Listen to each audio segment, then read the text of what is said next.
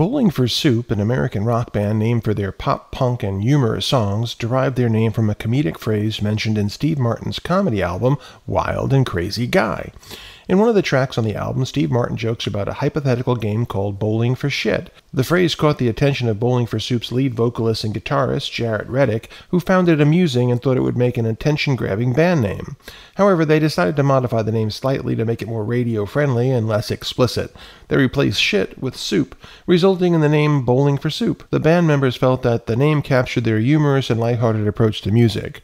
Formed in 1994 in Wichita Falls, Texas, Bowling for Soup gained popularity with their catchy and witty songs such as Girl All the Bad Guys Want and 1985. Despite their name's origin, Bowling for Soup's music had no direct connection to bowling or soup. It's simply a memorable and playful moniker that reflects their comedic style and resonates with their fan base.